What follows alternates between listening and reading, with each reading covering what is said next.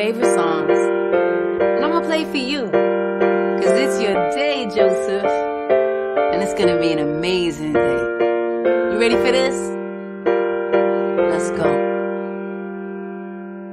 Party people say, party people say, hey,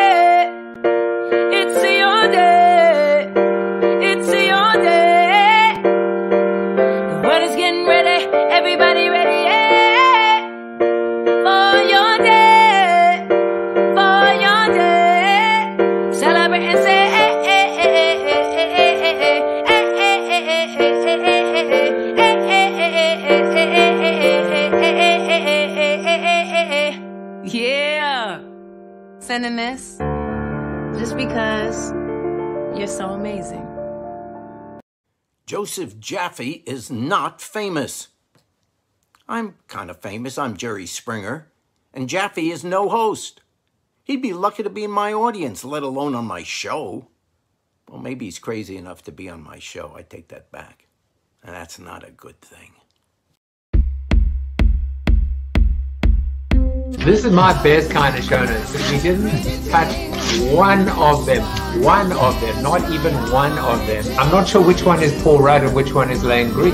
Final card here is the, the ultimate outcome. Today is take your dog to work day. Oh, Like Scooby Doo. Without further ado, his debut. Sweet Caroline.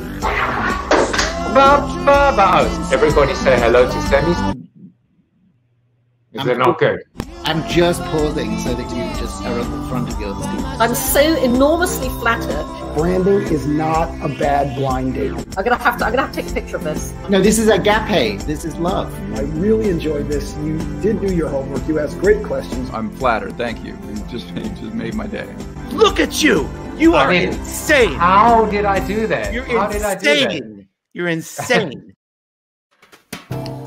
Well, welcome everybody. It is Hump Day. It is January 12th, 2022. Lots of twos. And uh, I am as happy as a pig in poop because Grant McCracken is my guest today. Let me let me tell you something. Uh, I don't know whether they call them dad jokes or whether they just call them uh, puns. Or I'm trying to be punny. Maybe that was uh, a dad joke, but I'm just having so much fun uh, with the name uh, McCracken. In fact, in fact, I decided that the title of the show today would be "Unleash the McCracken." Um, it's just a beautiful name.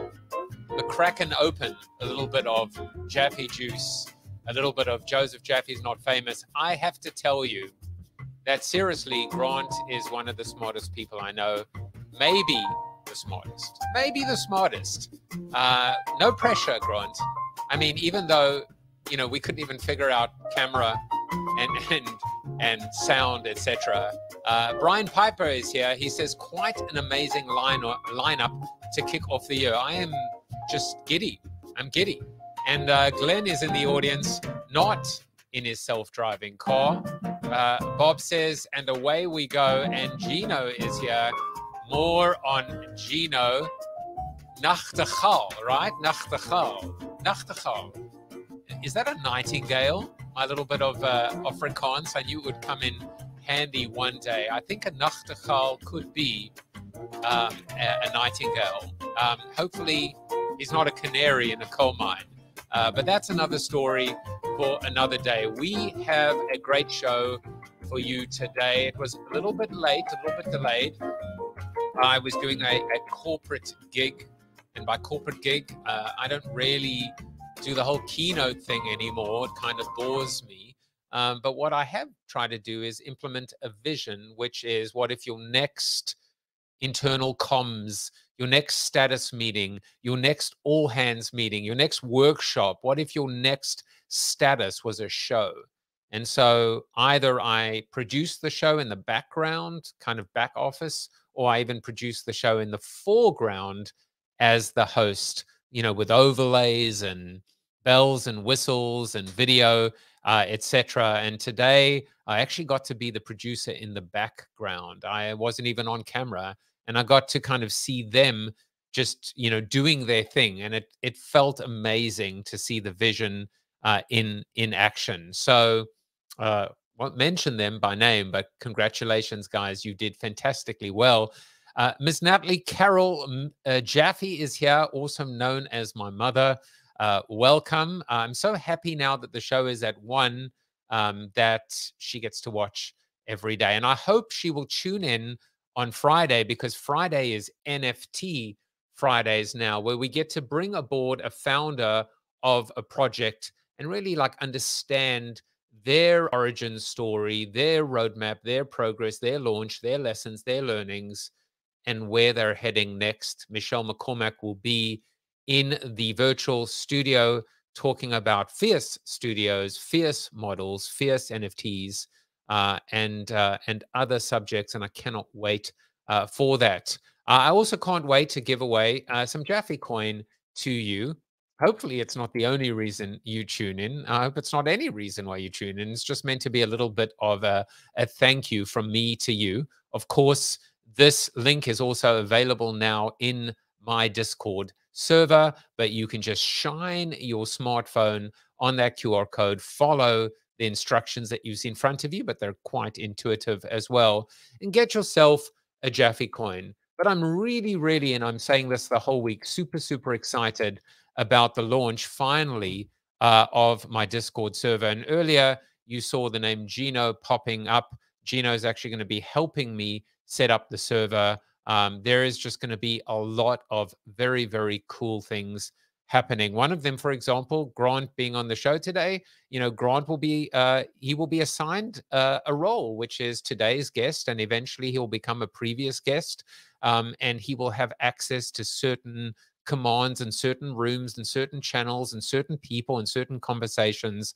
Um, and it's just very, very exciting to see how this piece of software really is, I think, transforming, absolutely transforming community. The, the failed promise of community from Web 1.0 and even Web 2.0 is now living large in Web 3.0. And if you want to join the server, which is free uh, until no, I'm kidding. It's free. Uh, just go to bit.ly forward slash not famous Discord because I'm not famous. My show is not famous, and neither is my Discord. But of course, we know that my guests are very, very famous. Now, I want to talk to you. Uh, I'm about to deliver my seated soliloquy, but you know, something came up. I, I was scrambling to try and get my corporate show uh, done on time and prep for this show. And I felt myself running out of time in terms of preparing the seated soliloquy. I've been writing it down, I've been typing it up, I've been reading it with a teleprompter. It's been a very interesting learning curve for me to kind of try and master a different way to present short form content to you. And as I was running out of time and scrambling, the irony, of course, is that is that the show could have actually started on time because we finished early. Um, suddenly I realized, wait a second, the beauty of innovation is that it forces you into a position of of discomfort or being uncomfortable and you know roll with it embrace it feed it you know lean into it because that is exactly how we grow. And so what i thought i would do today is not type up something but actually just riff on it and I have a timer that says three minutes because that's more or less how long the soliloquy is. So I'm going to give you a something that makes me very uncomfortable right now, which is to not have something down where every single word was written with a purpose and a meaning, uh, but where I get to just talk to you about what's on my mind. Because anyway, what I wrote down came from the brain and from the heart. Uh, so this one is called Time Machine. And of course, as you know, it's connected to my guest. So let's start the clock. And remember, this is not rehearsed or anything, and I'll just put my little egg timer in front of me. One of the questions that often is asked, whether it's an icebreaker or whether it's just one of those questions around the dinner table, is if you could invent a time machine, if you could go into a time machine where would you go and when would you go? Would you go back in time or would you go ahead of time? Would you go into the future or the past? And um, you know, I try and be like snarky and I try and say I'll just go back far enough to buy Bitcoin. I mean, it seems that simple, really. Um, and then sometimes I get a little bit personal as well, a little emotional, and I go, I'd like to go back maybe and hang out with my father who passed away when I was four years old. Uh, invariably, people do want to go back to that moment, just five minutes more, just an hour more, with a loved one that passed away, uh, or of course, the Bitcoin answer. A couple of things struck me. One is if you really wanted to go back and uh, and and profit off Bitcoin, you actually would only need to go back one year into the past for the most part. And that kind of blew my mind that all we would need to be doing is one what is one year? We're not talking about 10 20 50 years you know a thousand years whatever. It's one year to actually be a part of a life changing moment. And the beauty of it is in a year's time of course people will look back to today to january 12th 2022 and maybe be saying the same thing again so there's a real lesson learned, which is kind of seize the day. Maybe we don't need to go anywhere. We just need to be present and and and maximize our presence, you know, and our being not woke but awake in terms of understanding what's going on and taking advantage of that. I don't know if that makes me an anthropologist, Grant. I'm not really sure. Um, one more point is what about the future? What about going into the future? It, it, it actually gives me agita to think about it because generally there's nothing positive about it. You basically want to see how the world ends or how you die or when you're going to die or, you know, I, I don't know. I, I don't need the future. You know, tomorrow is uncertain enough for me. And, and I don't need to know if I'm going to be eaten by a Bronteroc little uh, shout out or uh, Easter egg to the movie Don't Look Up. Um, but we don't need to find out how it ends. If and only if we are in control of right here, right now. So that is my impromptu as we see the time running out. Hopefully, not on our lives, hopefully, not on the show, but certainly on the soliloquy. And that was me pushing myself out of my comfort zone. Uh, and I feel like maybe Grant McCracken was a little bit of a muse there as well. Manif is here, and uh, Bob Farnham said, please look up, as opposed to don't look up. So we know exactly what side of the argument Mr. Bob Farnham uh, sits on, and uh, it might just be the same side that I do as well. So, with that said, let's bring on the man of the moment, the very famous Grant McCracken. Thank you, Mr. Gary Stain or Gary Stein, uh, who said, nicely done. I appreciate that uh, very much. And Mr. Garfield says, good job on that. Wouldn't have known that it wasn't pre written. Well, thank you for saying that. And by the way, you know, something that's interesting there is as I've learned and as I've watched myself back, which, you know, no one should ever have to do, is the ability to say I, have got a phrase like a, almost like a tick, which is I say, you know, you know, you know, and uh, it's really hard. It's really hard when you're trying to articulate, think on your feet, multitask, but also not, you know, I just did it. I just did it again. So uh, let's get on with the show. The now is the gift, says Manif. But let's get on to Mr. Grant McCracken because I do not want to minimize any moment of him anymore. Grant McCracken is a cultural anthropologist. He holds a PhD from the University of Chicago, which makes him super smart off the bat. He was the founder and director of the Institute of Contemporary Culture at the Royal Ontario Museum. Grant has taught at Harvard, University of Cambridge, and MIT. I haven't heard of any of them before. Uh, he is the inventor of the Griff, an early warning system for social and cultural change. That's his uh, uh, euphemistic way of saying he created a time machine. He consults widely, and his clients include, again, some companies that you may not have heard of Google, Ford Foundation, Kanye West, Netflix, Reddit, Sony, Boston Book Festival, NBC, IBM, Nike, and another startup, the White House. Let's say hello to Mr. Grant McCracken. Welcome to the show. Please tell me you can hear me.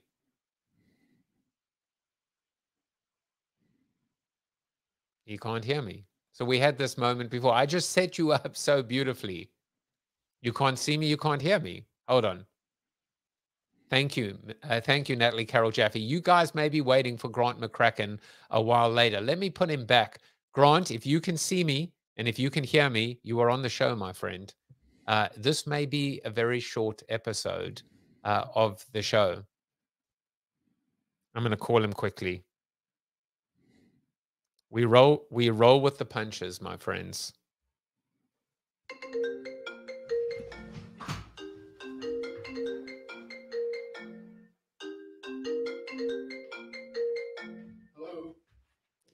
You you are on the show, my friend, and you can't hear me or see me again. Oh, so frustrating. Um, But you, so- you but you are live in front of 3.7 million people right now. say So- hello to them for me, please. I, I, I, am. Uh, LinkedIn user says, "Do you need a joke?" Sure. I need a good cry. This is technology. Um, in Canada, I bet you. I bet you they can see you and they can hear you too. Oh, good. Will someone? you- uh, You need to see me. Uh, yes, they can see you and hear you too. oh, good. So, um, good. So, shall we just take it, uh, play it as it lays? Just uh, fire away with questions. If they can see you and see me and hear us both, then we're good. I'm, I can't- I'm, I'm prepared. I'm prepared to do that. Uh, you know, uh, as Bill O'Reilly would say, we'll do it live. right. he might say so, he might say some other things as well. Well, Mr. Grant McCracken, I have to like hold my phone.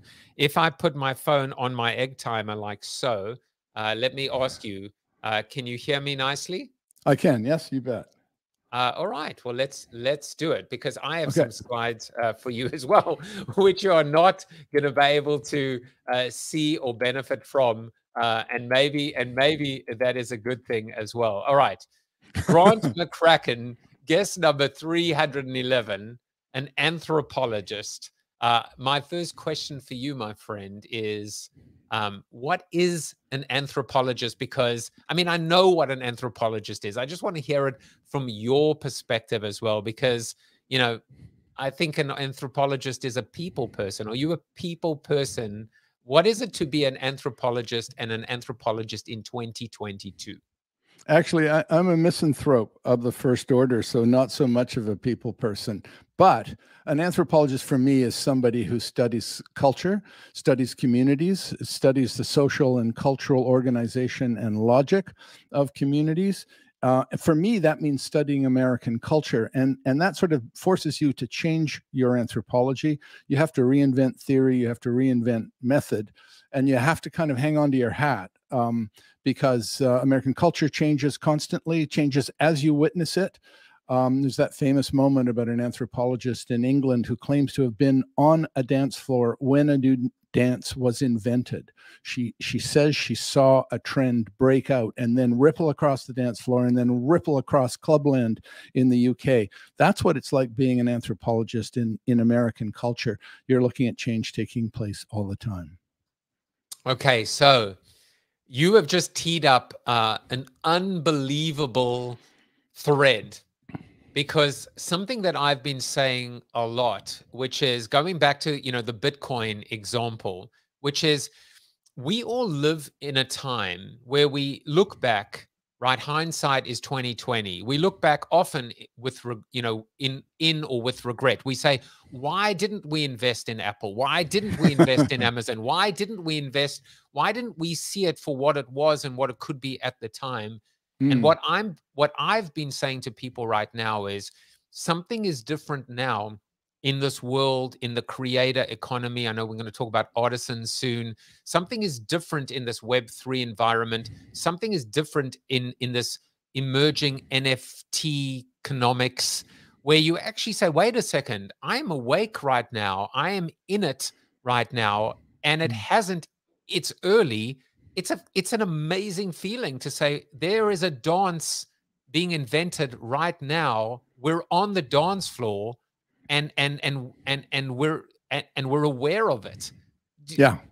Yeah, no, exactly. how do you It- interpret that Yeah, it feels like in sometime in the last 20 years, this would be an interesting discussion all by itself. We went from being a kind of stop and go culture to being a continuous flow culture. So, stop and go culture is there is a change of some kind technological, economic, sociological. The world goes, oh, well, that's a problem. Let's make a change. And you make a change, and then you go, "Whew, okay, we're good until there's another change. In fact, in those days, you used to pretend that you were good indefinitely. Um, but eventually, another change would come along. and You'd have to make another adjustment. Uh, at some point in the last 20 years, we drifted into continuous flow so that there's continuous change, continuous adjustment, continuous change. And, you know, the people at the Santa Fe Institute like to talk about complex adaptive systems. They claim to see in nature systems that are good at this continuous uh, flow. I think it's vastly more difficult for human communities um, to uh, uh, accomplish that flow, not least because we have to get everybody on the same page. And of course, that means herding cats, and cats are just, you know, it's a goat rodeo to mix my metaphors thoroughly. So, um, yeah, that's um, that that's where we are now. We are. Um, you know, we talked about, oh, let's get nimble, um, um, let's get responsive, um, and and now that you know that for a brief moment that was a choice. Now it's a necessity, um, and that really, to mix my metaphors entirely, but to stick with the animal theme, um, that means that we are are totally having to uh, totally having to uh, uh, uh, figure out what it is we want to be and and how it is we want to get there even as we undertake uh, the, uh, the the definition of the destination and and and the preferred method so so it's uh, it's a very difficult time and i'm not sure we fully reckoned with the nature of the difficulty the other day i was thinking to myself you know maybe it helps if we think about the future as a foreign country right? We tend to think about the future as well, what happens next, or stuff will happen and we'll figure out once we get there. It's never going to be like that anymore, right? It's a con- we're continuously confronted by difficulty and we have to adjust in in real time and we should be equipping ourselves um, as if uh, about to embark upon uh, uh, uh, a, uh, a great adventure. I was thinking about um, the, the American corporation is a little bit like um, the uh, Britain on the eve of World War II had Britain not had radar, right? The British knew that the German a- aircraft were coming. They didn't know where or when or how many, um, uh, uh, or they would not have known where or, or how many, except for radar, which gave them this this huge and hidden advantage. We're at this point we haven't developed radar. We really don't have good methods, good theories, good systems for detecting what's out there in the future. Um, so that feels to me, uh, it just seems to me that's an astonishing. You know, you think about um, the uh, what, what Britain was obliged to do during, uh, I'm sorry, what the UK, uh, US was obliged to do during World War II. They took all these brilliant people and stuck them in the desert and said, figure out atomic warfare, and they did. Um, uh, we need we need institutes of of that kind where people are sitting around thinking about how we manage this thing called the future because it's coming for us. And some might argue that it's already here, but just not evenly distributed. Yeah, Um, exactly. it's sort of now. Now I think that's where Gibson is is finally mistaken. Uh, not that he's ever mistaken, but that uh, the future is now here for everyone. That's that's how relentless uh, it, it it it is. Beautiful, beautiful build. You you said so many things there that were just uh, awesome, and I and and I I I want to you know bring us back to something unbelievably juvenile uh, because why not? Uh, because you, you you mentioned animals and you mentioned herding cats, uh, but a little known fact about you is that you were raised by cats. I Uh, was. and and and and I actually have. You can't see this. Can you see this at the moment? I Uh, can't. but we actually have. I'm I'm glad you may not come back on the show as well. But we actually have a photograph of you being raised by cats. So I had to ask you a question, and fir- well, there are two parts to this ridiculous question. The first part is why is it that so many NFT projects involve animals? and, Mm. and, and crazy cats, right? Mhm. And pudgy penguins and lazy llamas and and you know and all those things. But the other thing is is how the hell were you raised by cats? Yeah, I was raised by Siamese cats, three of them actually, and I, I I grew up in a family that was distracted by a variety of things, mostly good-natured, happy things, not all of them, but most of them, um, and it was really left to the cats to to see to childbearing. So that that we had the good fortune of Siamese cats, who of course are multilingual and and social have a great gift for social and cultural complexity. So my sisters and I were in good hands um, but uh, and and and and and surely the cats did a much better job than our parents would have done. So I consider us lucky. So now there there are a couple of things that I want to unpack from what we discussed. And I want to get to culture second. But the first thing that you spoke about, which really, really intrigued me, was this idea of radar, early warning systems. Now, we will come back, I assure you, uh, to your time machine. Um, but I was trying to think to myself, what is the equivalent of of radar, of future radar, and how much of it could be in instinct, intuition, gut, the ability to get, you know, the Gary Player said, the more I practice, the luckier I get. Luck.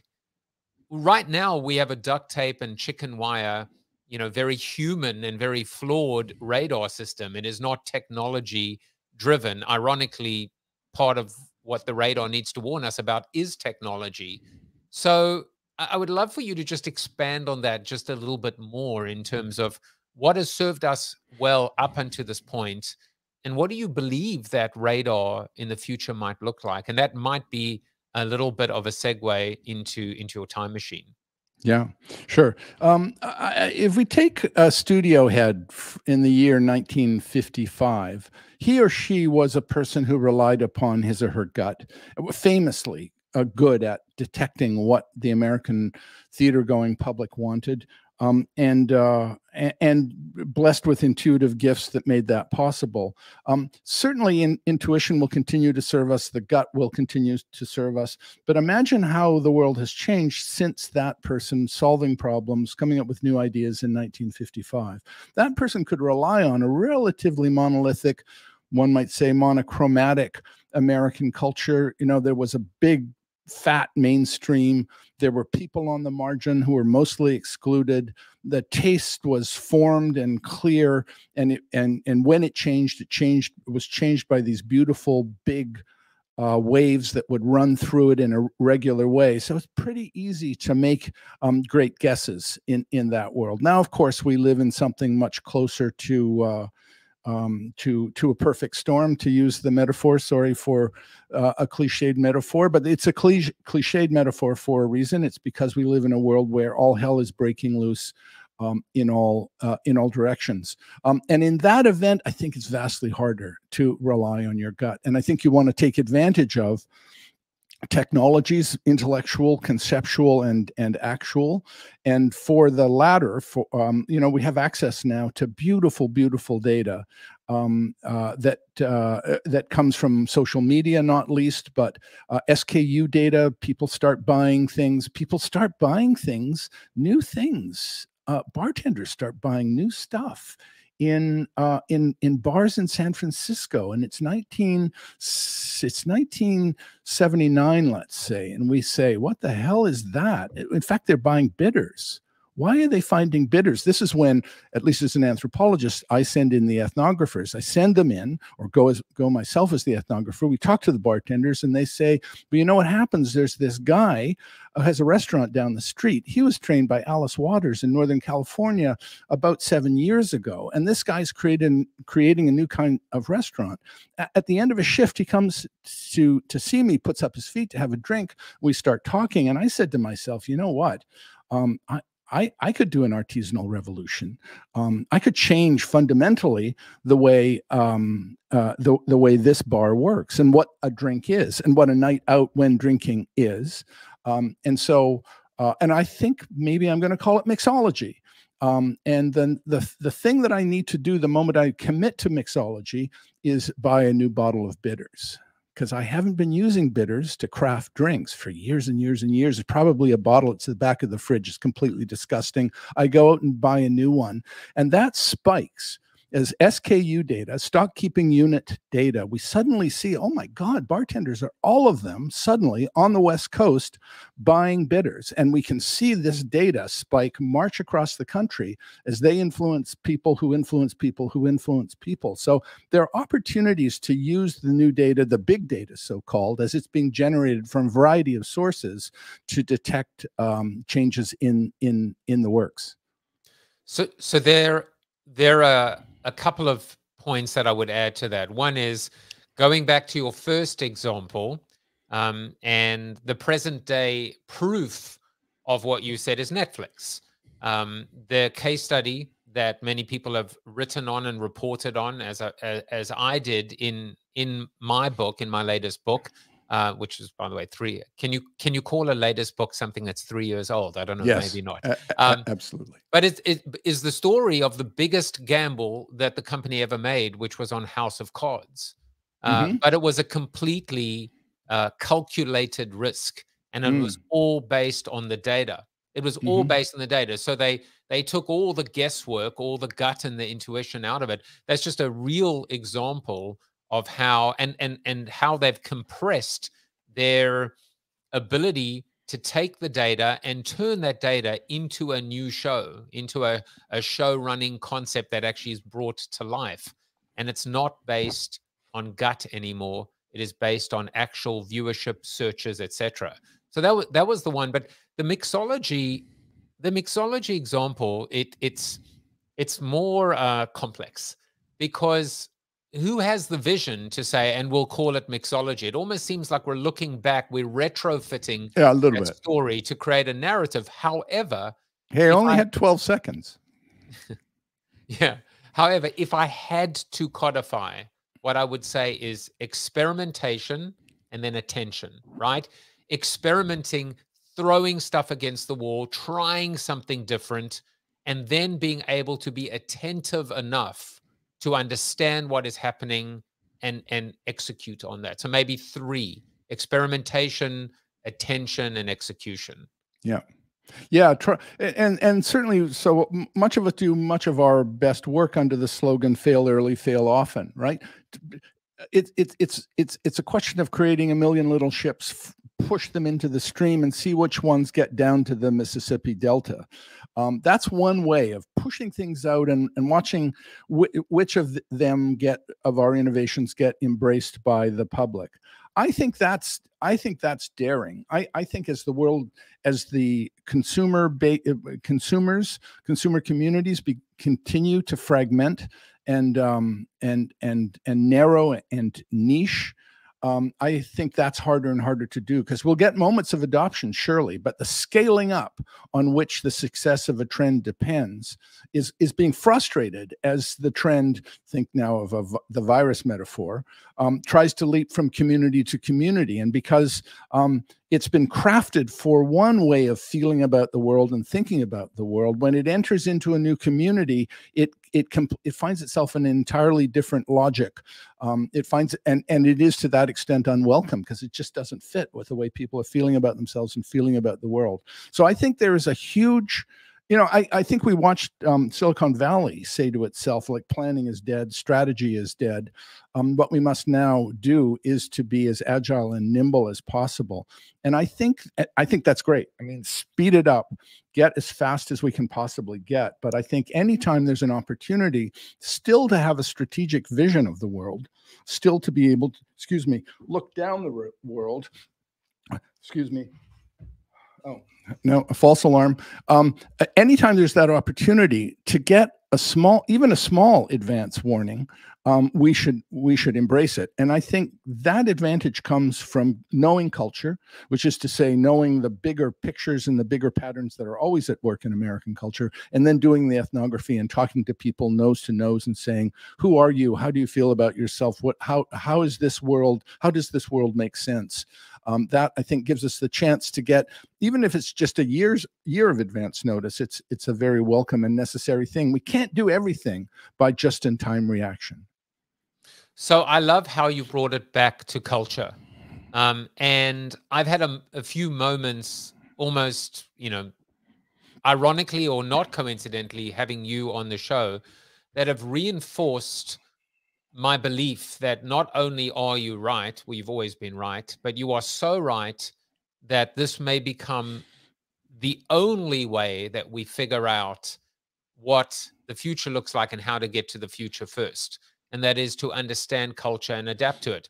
Now i will say uh, i will say two things. One is there is an interesting viral metaphor when we think about not just vi- viral metaphor, the virality of an idea, right? Seth Godin spoke about the idea, unleashing the idea virus, but also this idea now of variants and leaping from community to community. And the only way that a virus can survive, or the only purpose of a virus is to survive, and the only way it can survive is to make itself more transmissible but at a cost, which is the dilution of its efficacy. So there's definitely something in there. And the challenge, of course, is how do we leap from community to community? How do we take our idea without diluting it, without being able to create the short term gain at the expense of the long term pain? Yeah. And I think some the answer to some of that might come down to the distinction between slow culture and fast culture. Um, fast culture is is is the flow through stuff, the latest trends, the hottest TV shows, um, the celebrities of the moment, and that stuff just pours through at a fantastic uh, rate. So that you know, 18 months later, we're ha having a hard time remembering the name of that celebrity who was the hottest celebrity. That's fast culture. Slow culture just works on a different uh, interval. It it it it some of the trends that are at work shaping American culture have been with us um, and transforming us since the 18th century. So to that extent, I think working um, on on uh, slow culture gives us lots and lots of uh, fast uh, uh advance warning, um, and that's all good. So now, what a beautiful, beautiful reminder of the last conversation that we had. Uh, I was doing a project for Pepsi and uh, in fact, I, I, interviewed you and we sat at the Longshore Inn. Um, and that conversation stuck with me, I mean, forever until this day, until today, and will continue to. And you spoke about fast culture and slow culture in that.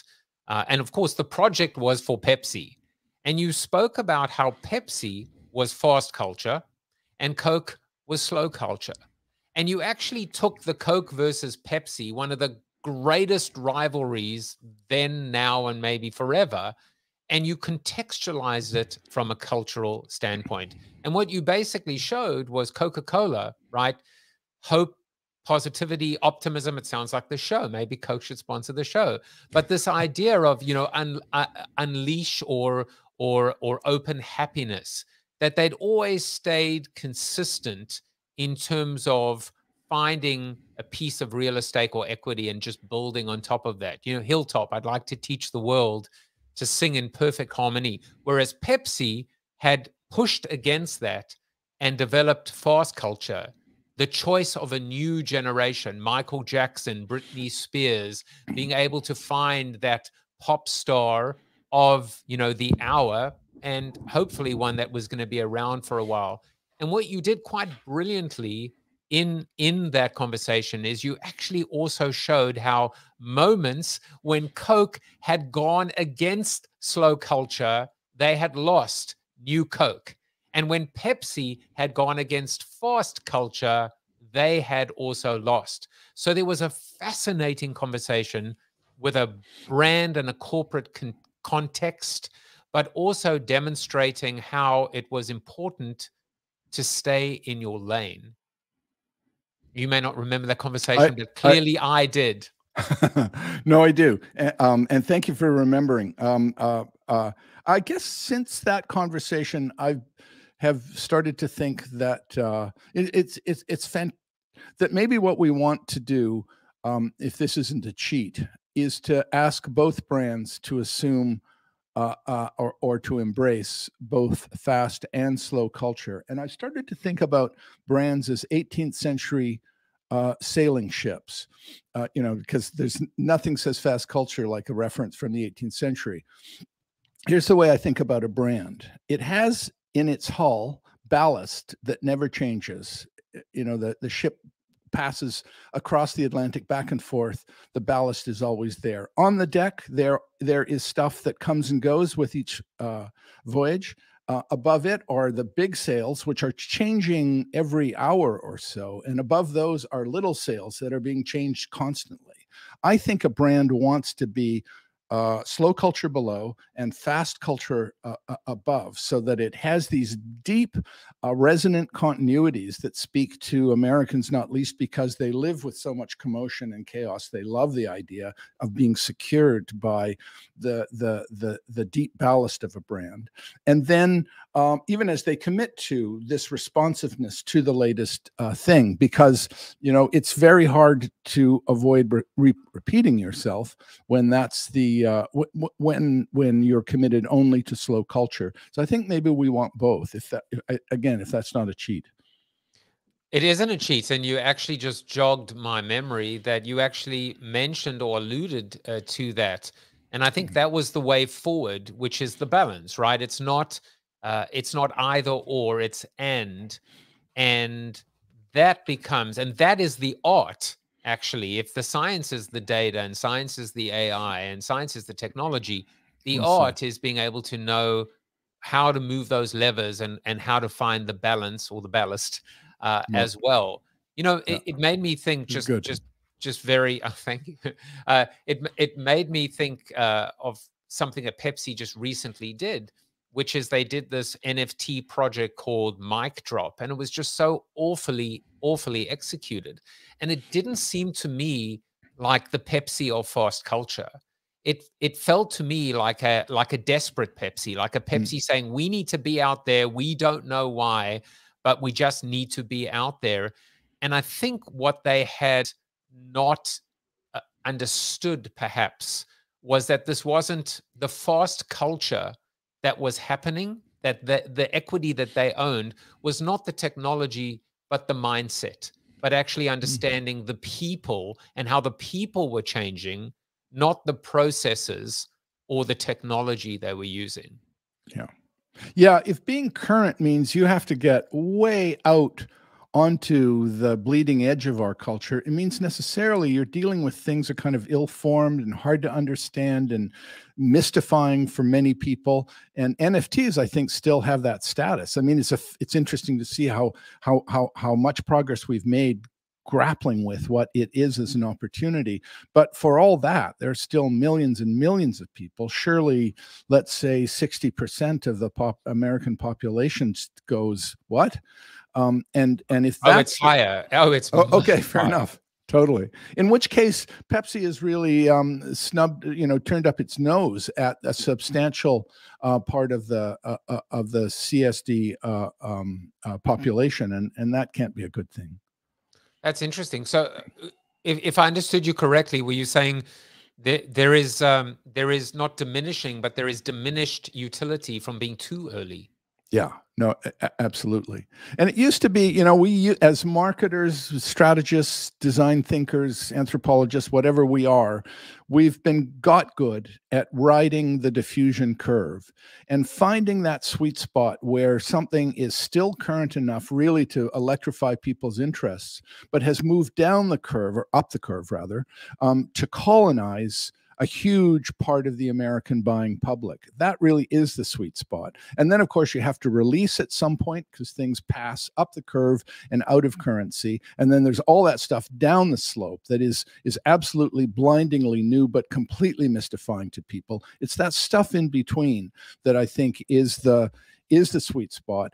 Um, it's I think it's maybe harder to find that sweet spot than it used to be. I think it might be just to play out the metaphor. Maybe we're saying that sweet spot has narrowed to something really particular, and you have to get in and get out um, with real skill uh, to to make your point, which I thought was beautifully put. It there is science. There's also art, and and that's you know people just working with cultural materials, assembling them, launching them. What did you say? Observing them, making decisions, rinse and repeat all doing that over a career, I think makes you good at creating and crafting uh, American culture. And, and that gift is all the more essential when the, the you're having to make really fine determinations and act with almost you know fearlessly in the moment and then move on. That's that's tough to do. I want to uh, acknowledge uh, Matt Searles, who's watching, uh, and uh, he said it seems like there might be different developmental stages to brands, like related to size and age, that might affect the pragmatics of the degree you should be oriented to fast or slow culture. Yeah. Yeah, I think that's right. Um, uh, it's well said. Um, brands go through their life cycles. They go through quickly. They go, they, you know, they they mature um, recklessly. Um, they mature much too slowly. That's uh, and some of that has to do with the life logic, let's call it, of the consumers for whom it's intended, or the consumers consumers who are embracing it or not. Um, they too have, uh, you know, some of them are um, so hip it hurts.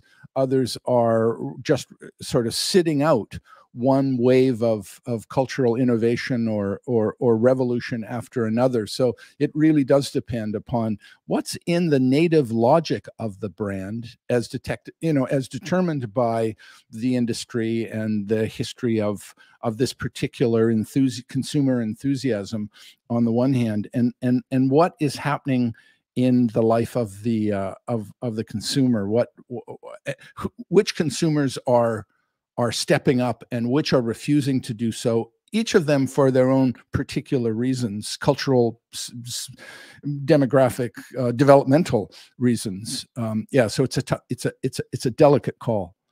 So i want to uh, i want to touch on one of these interesting uh, cultural trends and uh, but before i do that um, i wanted to just make sure that uh, see if you can hear can you hear this no. I didn't think so because oh. you because that's coming through the RODECaster. But that for people that are watching, that's the air horn that only gets reserved for uh, for amazing insights, etc. Um, so I will. I, I want to break a rule. I broke a rule already today. I'm going to break two. The first rule was the fact that I just did my soliloquy completely uh, uh, spontaneously and impromptu. The second one is Grant, I want you to come back next month because we're going to run out of time and run out of things to say. And if you will agree to come back, I would love for you to come back and we will test the sound and everything so you can see yourself as a member of the cast of Cats. Uh, and and so so I would be honored if you would if you would come back and we would talk about the the new honor the new honor code and we'll expand on the time machine. Um, but one thing we can do now is talk about uh, a book that uh, that is coming out, your next book. Uh, as yes. Peter as Peter Drucker said, what was your what was the best? Uh, he was asked what was the best book you ever wrote. He said the next one. Uh, so, so uh, I think one of these trends, and you alluded to it earlier, is I, I I call I refer to the creator economy, but you're talking about the return of the artisan. Give us a little sneak preview uh, about the book and why you wrote the book, how America went from industrial to handmade. Yeah. Um, with a friend, Sam Ford, um, I was looking at the problem of unemployment and opioid abuse in the middle of the country. And we were thinking, you know, what's the what's the natural solution here? And we thought as people get pushed out of the industrial economy, there is or can be a, an artisanal economy waiting to embrace them. And it may not uh, supply a robust income, but it certainly um, gives can can establish a community and establish um, certain goods and foodstuffs and and if all it does is keep people out of the clutches of opioids, then it will have done something useful. So that was kind of the the the pragmatic impetus. The the the other impetus was the anthropological one. You could see people uh, reinventing capitalism. Uh, in fact, I wanted to call the book at one point "Cruelty Free Capitalism." Mm. Um, th- that's kind of what I think the artisanal economy is. Right? It's human scale. It's it's handmade. It's it's person to person in many respects. Um, it's very, very different from industrial economy. So e- even if you don't need to embrace it for because you've lost your job, you might want to embrace it because it's a kinder, gentler way of of constructing your life. So that was my attempt was to see how much do the anthropological thing and look at the artisanal economy as a cultural construction and figure out what the pieces are, what the motives are, uh, and and think about how this new approach to as something as important as capitalism will transform the rest of uh, uh, American culture. Cruelty-free capitalism. What uh, what an amazing concept and a and and phrase to sink your teeth into. Um, I I'm starting to use a new phrase myself. So I will see your cruelty phrase capitalism and not raise you, but also add in this idea of being a community capitalist. Oh, nice. commun- a community, and it, I don't take the credit for Yeah. it. I saw it on someone's bio on Twitter, and I said, I took a screenshot of it, and I said, "Oh, I like that. That's the we capitalism Yeah. versus the me capitalism. That's Yeah. capitalism with a heart and a soul." Yeah. And uh, and it's exciting to be a part of this. Let me just go back to this idea, and I've pasted in the comments on all my social channels uh, where people can buy this book uh, Oh, on thank you. Amazon. When is it coming out, or is it out? It comes out in May of this year, so a couple of months. So we can either have you back in May to promote it or ahead of May. Um, that's perfect as well. Um, but but going back to this the premise, I think what I heard you say was giving people a purpose and giving people something that they're passionate about, as opposed to the the drone of the Monday to Friday commute, the way things were, but just giving them the ability to create, to make, to shape, even if it doesn't scale, even if it doesn't produce the the profitability. It, not only does it give them a reason to live, but it gives them a reason not to die, or in this case, you know, suffer at the hands of of the opioid epidemic. Would would that be an accurate frame or reframe? Yeah, no, that's well said. And I think about all those millions of people who are slow to go back to work. Some of them, I think, are slow to go back because they've caught a glimpse of the artisanal option and, and they're figuring out how to embrace that. Others haven't seen that option, are just thinking, golly, I don't want to do this the way I've done this. Uh, what are my options? So they they may wait awaken to, and we could see, you know, in the book I sort of contemplate the possibilities that we could see the creation of of these communities. I think of them as colonies um, uh, that are chiefly artisanal and and and a bit utopian, but but not so quite in not quite as daffy as utopian communities often are. Um, you know, too idealistic actually to survive in the real world. I see these artisanal colonies as being really pretty practical and pretty good at solving real world problems so and we may see communities spring up in which in which that happens and of course we had all these people leaving big, big cities going to live in the countryside and some of them now um, uh, they they went with big pockets and they made contributions to those lo- local communities and i think we with on that with the help of that funding we may see these communities mature more rapidly than they would have done And then, of course, there there is another point as well, which is when we look and we take stock at what's important, where we realize that the only thing we cannot control is also the most important thing, which is our health. When we think mm. about our priorities, I mean, I use this example all the time.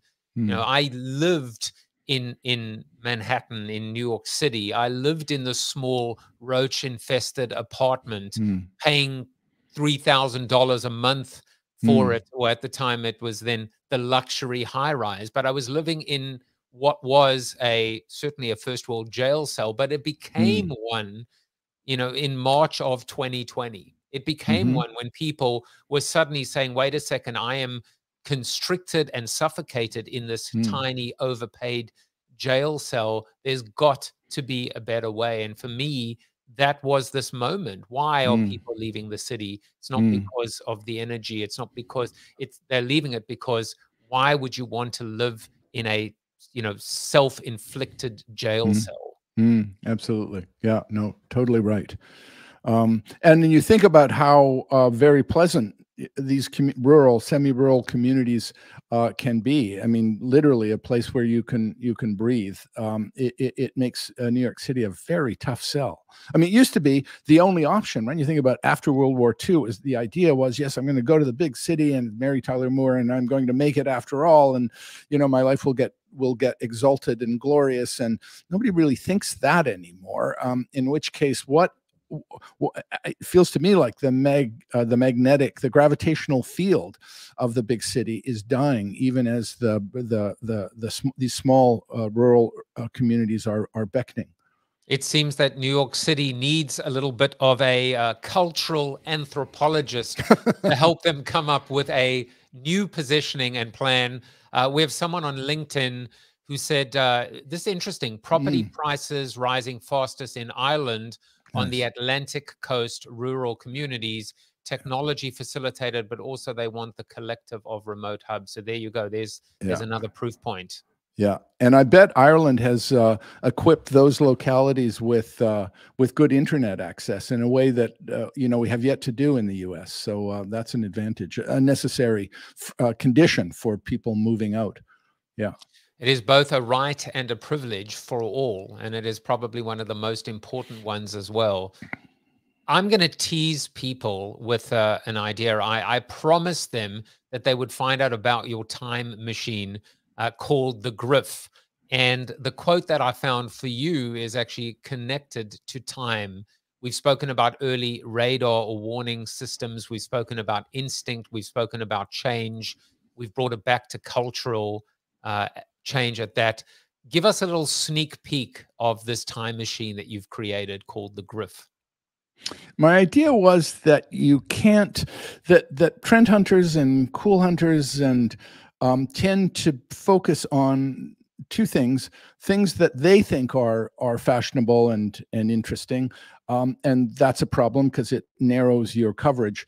Um, the other problem, I think, is is that people uh, don't um, uh, they they they don't have a deep memory um, and and they never report their errors. So eh, they're always on to the latest thing and they're they you know i see this happen a lot in the corporate world where um, a cool hunter will roll up and try to persuade the corporation this is the latest thing. That that argument is getting tougher and tougher um, to make, um, not least because things just move so quickly that it's uh, by the time the corporation latches on, uh, it, it's too late. Um, so I think the name of the game now is to cast the net really wide. So I have this, calling it a, a big board. It has 250 of, of the trends that I think can make a difference to American culture. And so I'm watching all of them, even things that, you know, don't interest me um, uh, or seem to me kind of dubious, um, those are on the board and we're monitoring those. And we're watching. The name of the game seems to be that this has only been going on for five years. So who knows if I've got this right. But it's when you get several, several of these smaller trends rushing in together that you, you tend to get this wholesale shift. So that kind of um, the development of an artisanal culture sweeping through American restaurants and bars and and the economy driving people to new patterns of life outside the city all of that you can see many things there's certain creatures like alice waters creating a restaurant in northern california in 1971 right? That's a prime mover moment no question. But it's because there are other trends that take one look at this trend the alice waters trend and go oh my god that's for me. And you get this these sudden um, uh, uh, constellations of, of trends, and together they help shift everything you have to shift to transform American culture to the extent that that has. Now, you are way too uh, humble to say it, uh, so I will say it, which is if you can correctly spot a trend out there, then that is just called beginner's luck or dumb mm. luck. Uh, the ability to spot trend time after time after time again and to your point, Grant, to understand it's sometimes not the singular trend, but the ability to spot multiple or clusters of trends and how they not only uh, present themselves, but how they interact and change and influence one another.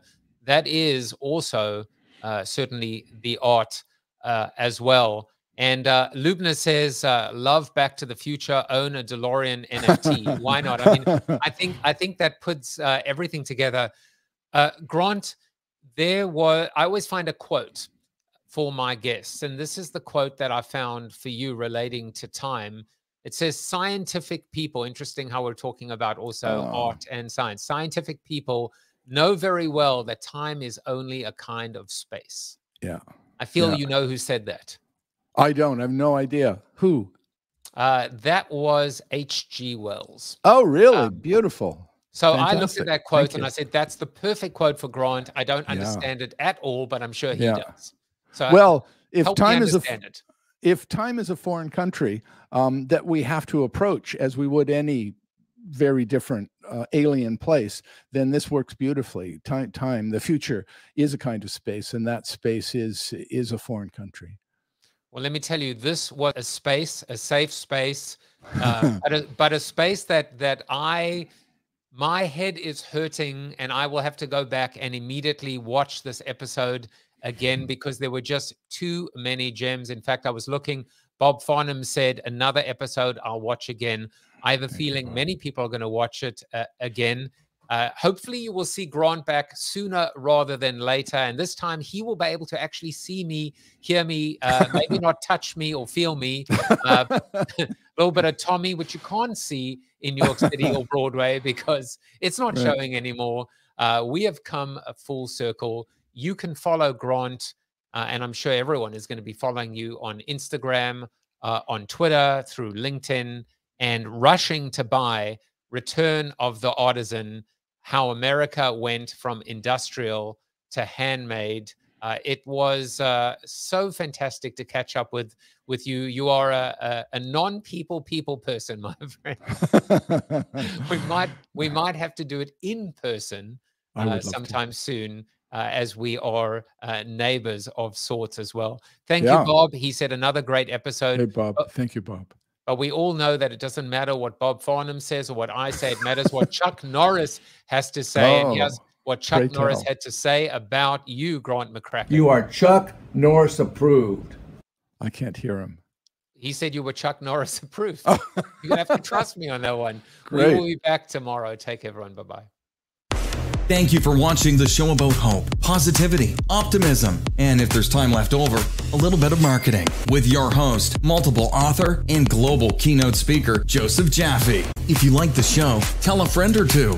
Please subscribe to the show, and if you want to get inside news, previews of upcoming guests, and much more, visit josephjaffe.com slash subscribe to sign up for the show's newsletter. And despite the best ministrations of your wife, you still look ugly.